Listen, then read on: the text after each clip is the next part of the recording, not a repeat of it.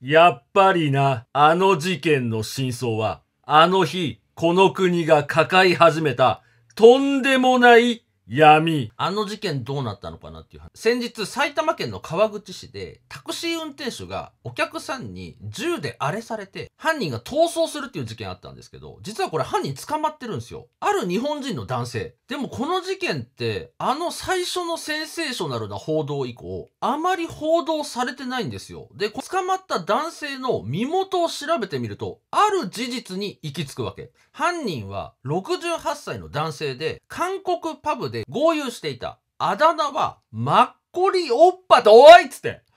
お、お、お、っぱ、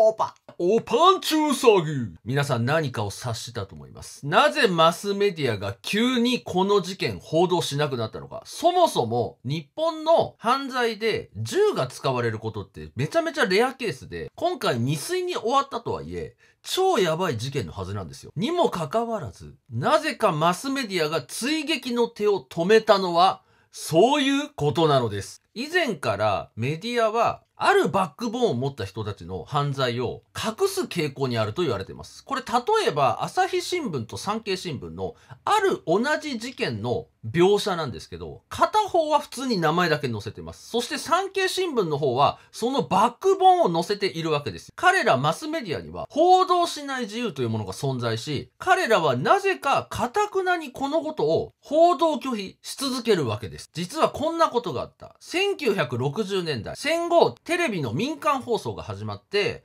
あるニュースの時に北の国のことを通称でアナウンサーが呼んでしまったんですよ。これをしたことによって日本に本拠地を置く北の国とつながりの深いある組織が猛抗議を行いまして大問題に発展したわけなんです。この結果どうなったかっていうと、このテレビ局に対し、あるバックボーンを持った人たちを優先して入社させるという特別枠を設けさせることで手打ちしたって言われてるんです。そしてその放送局は今、相当左がかった報道をすることで有名で、それはこの時に始まったあの特別枠が関係してるって言われているんです。実は日本のメディア、この放送局だけじゃなくて、多くがそういった状況が生まれてると言われていて、だから報道ではまるで日本人がやったかのような報道になってるんですけど、その実は全然違うと。今回、マスメディアがなぜかこの事件報道しなくなったのは、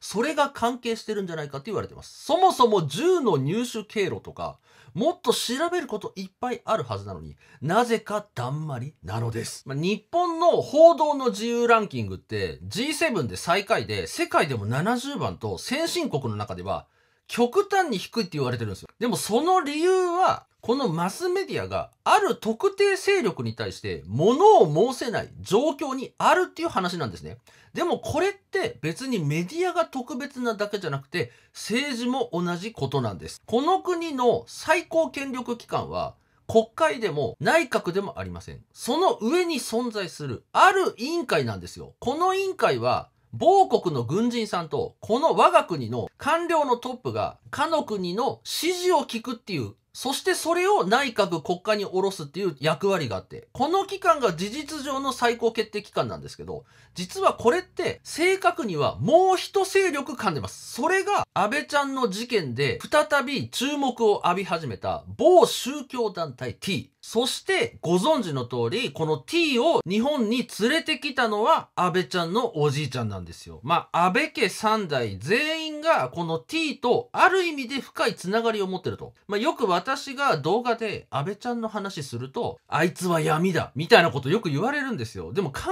えてみてほしい。確かに安倍ちゃんも T とつながりがあった第一次安倍政権。そして第二次政権の時、これを突き放そうとしたから結果どうなりましたかって話なんですよ。奈良県のあの事件で容疑者は未だに拘留され続けてる。何の情報も出てこない。まだ彼が単独でやったって思ってる人いるんでしょうか公に出てこられて喋られたら変なこと言うから始まらないわけですよね、裁きが。まあ、これどうなるかっていうと、まあおそらくなんとかスタインみみたいなことになると思います。まあ、口を封じられると。まあ、そして、この T っていうのは解散するとかしないとかって話、一時期盛り上がってたけど、最近これトーンダウンしてなかったことになってる。でもそれ何のためにやってるかっていうと、彼らがこの国の権力を握っていて、まあ、それに安倍ちゃんは気づいて、だからこそ邪魔になったから、まあ、消されちゃったっていう話なんですよ。この最高顧問が長く議長を務めていたんですよ。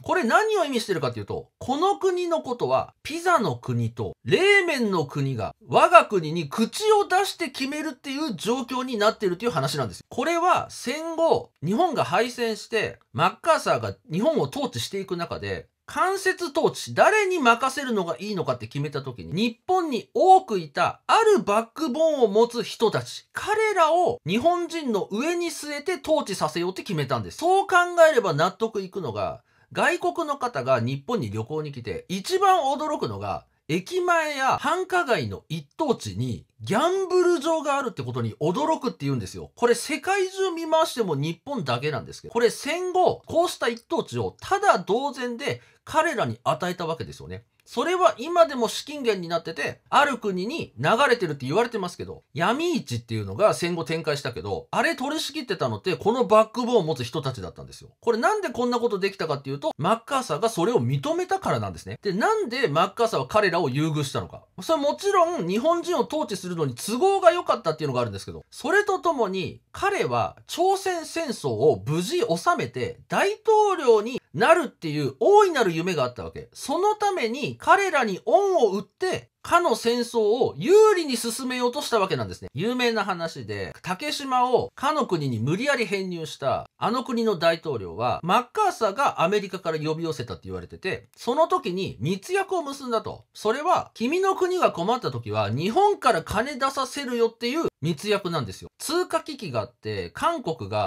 やばい状態にあった時、日本国は、かの国が潰れないように、多くのお金を提供しました。その後、かの国は V 字回復をして現在に至るんですけど、これ全部日本のお金なんですよ。でもなんで日本がお金出したのか。お人よしだったからか。それもあるけど、実は戦後、その密約によってそれが決まってたからだ。でもなんで日本がそんなことせなあかんねんと。それは、この国の統治者が誰かっていうのを考えればよくわかる。よくなんとか特権なんて話すると、そんなものねえって話になるんですけど、そんなものあるんですね。それは国自体が、そしてなぜそれが未だに守られ続けるのか。それは権力者にその人たちがいるからなんです。最近インターネットの普及によって、こうした情報が今まで知らなかった人たちにまで行き渡るようになってきました。これを恐れたのか、数年前から地方自治体では、へで始まる例の条例を設定するところが増えてきて、こうした発言を取り締まれるようになってるんですよ。もちろんね、言われなきことで、そういった人たちを傷つけるのは決して許されてはいけない。でも、それ同時に本当のことも言えなくなってるっていう状況があるわけ。マスメディアが急に報道をやめたら、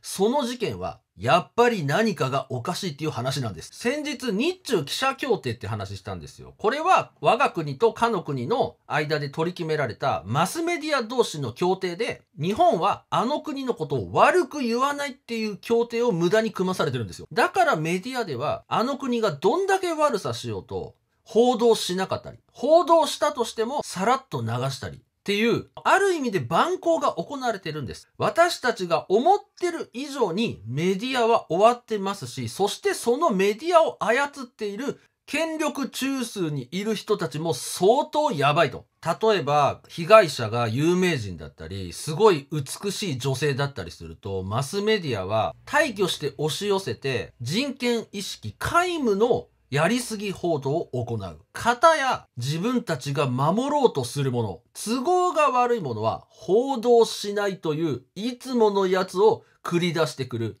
マスメディア。まあ最近ね、テレビ離れとか新聞離れとかいろいろ言われてますけど、それにしたって未だに多大なる影響力を彼らは持てる。でもそれを持っている理由は私たちが見るからであり、知るからであると。彼らから権力を奪えるのもまた私たちだけなのかもしれません。ということで、ハロー YouTube 下根司のニュースの猫川、薬局でトップかやめニュースをお送りしました。大谷さんの元通訳でね、一平ちゃんなんですけど、今あの裁判が進んでてね、あることを認めたっつって、大学ね、2年ぐらい通ったことはありますっていう、学歴詐称も認めてしまいまして。で、この顔です。ああ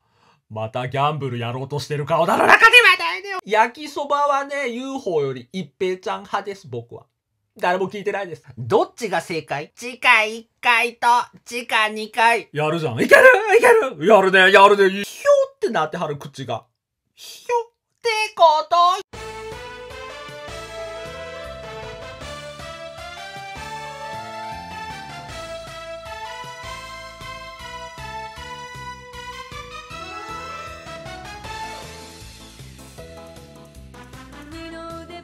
しがアブガリルリープに使やもアブガリル人妻の手料理食べたいな。明日も晴れるから。